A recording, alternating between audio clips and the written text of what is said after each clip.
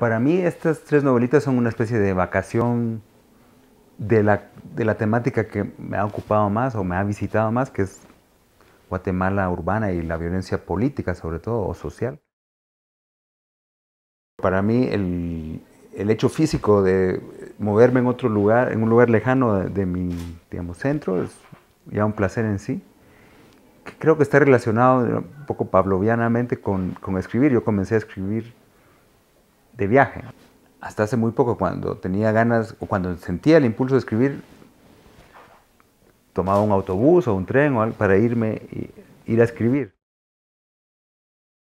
Sobre todo los ingleses, la literatura de viaje, pues Graham Greene, Norman Lewis, Chadwin, que yo creo que es algo que los escritores anglo-parlantes tienen, se les da más naturalmente que a los otros, el paisajismo. Sin, no la descripción detallada de un paisaje, sino que la impresión del paisaje.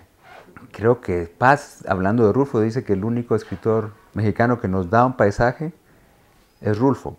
Si tú lees novela latinoamericana, casi siempre tienes que imaginarte o aburrirte cuando te, te describen, pero que te sientas tú inmerso en el paisaje es muy raro en la literatura hispana. Creo que es un país que puede ser fértil para la literatura. Ahora creo que es más un momento de poetas, por alguna razón no, no hay, no veo novelistas en nada.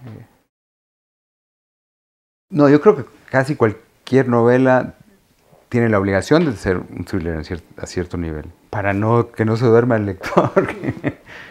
no, pero digamos, las grandes novelas creo que tienen, digamos, Dostoyevsky son thrillers, ¿no? Crimen y Castigo, si no es un thriller, hoy creo que sería casi clasificado como un thriller. Y, eh, la Cartuja de Parma o todos esos, tiene que tener un elemento de suspenso, tal vez debería ponerlo así.